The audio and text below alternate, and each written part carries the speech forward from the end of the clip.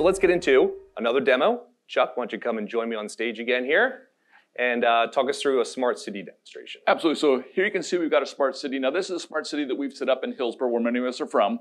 See here we've got three buildings, and we right now have 60 cameras spread across around the city across those three buildings. And it's not just about streaming the data, so I mean streaming the video so we can see, because you can see we're able to do that, get pretty high frame rates.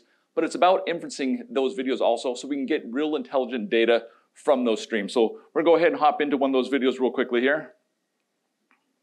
So here you can see, here's one of those streams.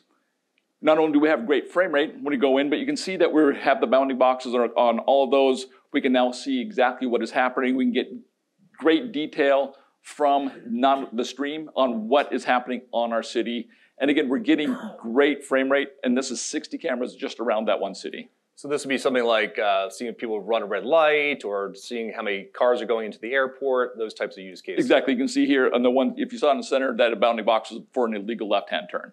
So again, we get all that data, and that helps us build a smart city that really helps us develop for future development, future growth, find out where we need to police maybe a little bit more. But again, this is all happening around the Hillsboro area. Can you tell me where these cameras are so I can avoid uh, getting caught? For you, yes. okay. Okay, but it's not just about you know, the smart city, it's like, let's take a look at what we can do with the card if we push it to its full potential with a benchmark. So here we're gonna bring up the YOLO V5 benchmark. Now this is really just to see what the card can do. So here you can see we're able to do 90 streams. We're able to stream those at 25 frames per second, and then we're able to inference each and every one of those streams. Now again, this is on our 170, 150 watt card.